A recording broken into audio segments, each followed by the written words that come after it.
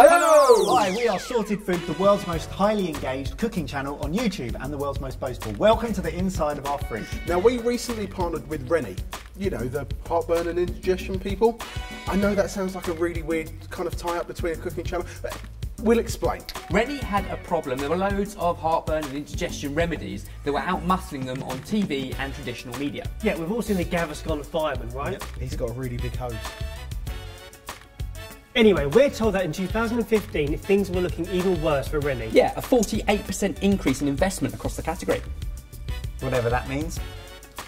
And with a much smaller spend, Rennie needed to find a way to stand out from their competitors' ads. Research told Rennie that their audience loves food. Don't we all?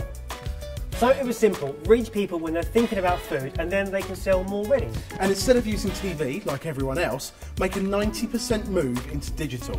And that is where we came in. We created the Rennie Mystery Box Challenge, a 10 part video series on our YouTube channel where a Rennie branded box was lowered into our studio containing an exotic ingredient. We then created an awesome recipe with help from our millions of followers. Rennie used search insights to choose those exotic ingredients and ended up with stuff like bone marrow, mm. durian, fresh turmeric, and horned melon.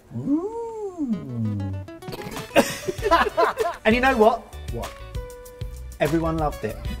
We also ran a mystery box challenge event for some famous food bloggers to come on down and gain even more interest in the project. Now, because we love, love numbers, here are some big ones for you.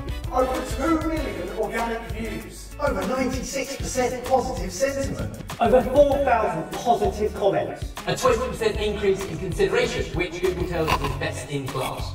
And to cap it all, in the UK, we achieved a staggering 99% awareness. And Rennie sales shot up, the highest in four years, all without a TV in sight. Now that is how you get digital sorted.